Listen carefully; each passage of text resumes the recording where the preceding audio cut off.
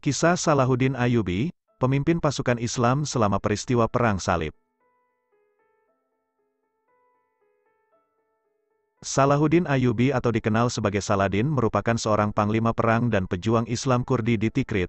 Sekarang, Irak, ia pernah menjabat sebagai Sultan Mesir dan juga pendiri dinasti Ayyubiyah. Salahuddin terkenal di dunia karena mengalahkan pasukan besar tentara salib dalam pertempuran Hatin dan merebut kota Yerusalem pada 1187.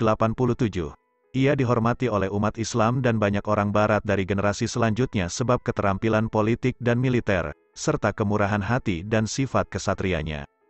Bagaimanakah kisahnya? Melansir dari berbagai sumber, berikut adalah kisah dari Salahuddin Ayyubi.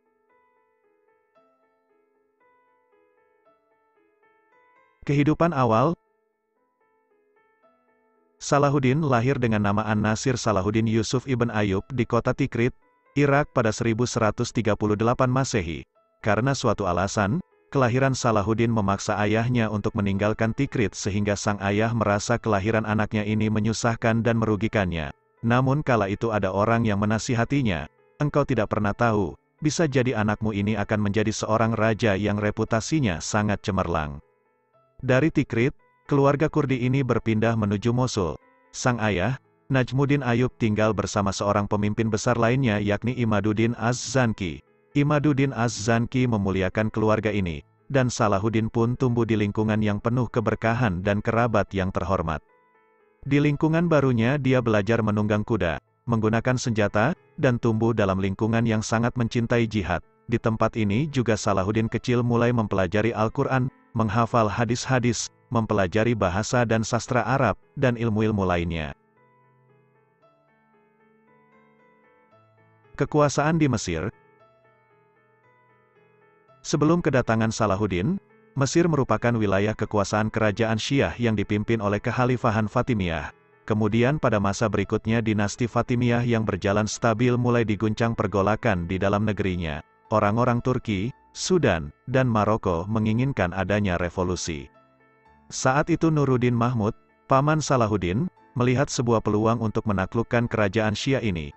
Ia berpandangan penaklukan Daulah Fatimiyah adalah jalan lapang untuk membebaskan Yerusalem dari kekuasaan pasukan salib. Nuruddin benar-benar merealisasikan cita-citanya, ia mengirim pasukan dari Damaskus yang dipimpin oleh Asaduddin Syirkuh untuk membantu keponakannya, Salahuddin Alayubi, di Mesir. Dengan kekalahan Khalifah Fatimiyah terakhir pada 1171, Salahuddin ditunjuk menjadi gubernur Mesir dan mulai mengurangi pengaruh Islam Syiah di sana. Namun tidak lama menjabat sebagai gubernur di Mesir. Dua bulan kemudian Salahuddin diangkat sebagai wakil dari Khalifah dinasti Ayubiyah. Penaklukan Yerusalem Persiapan Salahuddin untuk menggempur tentara salib dinilai benar-benar matang. Pasalnya, ia telah melakukan persiapan keimanan dengan membersihkan akidah syiah batiniyah dari dada-dada kaum muslimin dengan membangun madrasah dan menyebarkan dakwah, persatuan dan kesatuan umat ditanamkan dan dibangkitkan kesadaran mereka menghadapi tentara salib. Dengan kampanyenya ini ia berhasil menyatukan penduduk Syam, Irak, Yaman, Hijaz, dan Maroko di bawah satu komando. Dari persiapan non-materi ini terbentuklah sebuah pasukan dengan cita-cita yang sama dan memiliki landasan keimanan yang kokoh. Sedangkan dari segi materi, ia telah mempersiapkan pembangunan markas militer, benteng-benteng perbatasan, memperbanyak jumlah pasukan, memperbaiki kapal-kapal perang, membangun rumah sakit, dan sebagainya. Pada tahun 580 Hijriah atau 1184 Masehi, Salahuddin menderita penyakit yang cukup berat, namun dari situ tekadnya untuk membebaskan Yerusalem semakin membara. Ia bertekad apabila sembuh dari sakitnya, ia akan menaklukkan tentara salib di Yerusalem, Salahuddin pun sembuh dari sakitnya, ia mulai mewujudkan janjinya untuk membebaskan Yerusalem. Setelah hampir satu dekade bertempur dalam pertempuran kecil melawan kaum Frank, sebutan tentara salib dari Eropa Barat, Salahuddin bersiap untuk melancarkan serangan skala penuh ke Yerusalem pada 1187.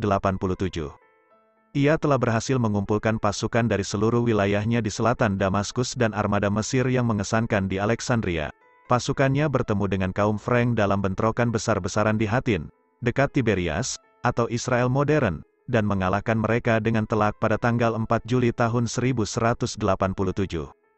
Kemenangan dalam pertempuran Hatin diikuti oleh serangkaian kemenangan cepat di seluruh kerajaan Yerusalem, yang berpuncak pada tanggal 2 Oktober tahun 1187, ketika kota Yerusalem menyerah kepada tentara Salahuddin setelah 88 tahun di bawah kendali Kristen.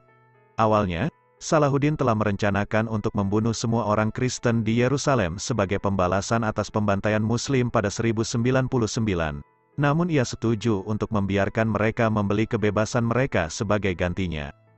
Pada saat itu, pasukan Salahuddin telah menguasai sejumlah kota penting lainnya dari tentara salib, termasuk Acre, Tiberias, Caesarea, Nazaret dan Java.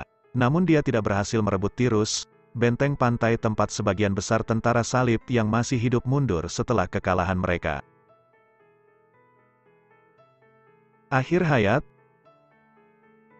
Beberapa bulan setelah menguasai sejumlah kota penting di Yerusalem, Salahuddin wafat saat berusia 55 tahun di Damaskus pada Maret tahun 1193. Ia meninggal karena mengalami sakit demam selama 12 hari yang dipicu akibat kelelahan dari kampanye militer semasa hidupnya. Salahuddin telah memberikan sebagian besar hartanya kepada rakyat saat wafat. Saking banyaknya yang telah ia berikan, bahkan sisa harta yang masih dimilikinya tidak cukup untuk membayar pemakamannya sendiri. Koalisi negara-negara muslim yang dibentuk Salahuddin berpisah setelah kematiannya, tetapi keturunannya dalam dinasti Ayyubiyah terus memerintah di Mesir dan Suriah selama beberapa generasi.